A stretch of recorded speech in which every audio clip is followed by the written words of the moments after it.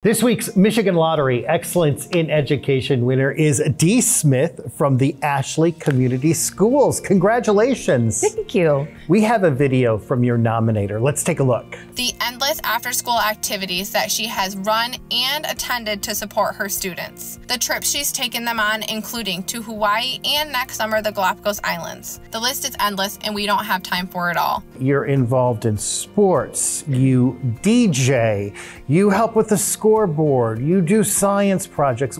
Why do you do so much extra? The kids are important to me and they need to know that they're important to me. And as important as subject material is, it's equally important to let them know their interests matter. Deann from Ashley Community Schools receives a $2,000 check from the Michigan Lottery. Excellence in Education Awards, sponsored by the Michigan Lottery, providing more than $28 billion to public education since 1972.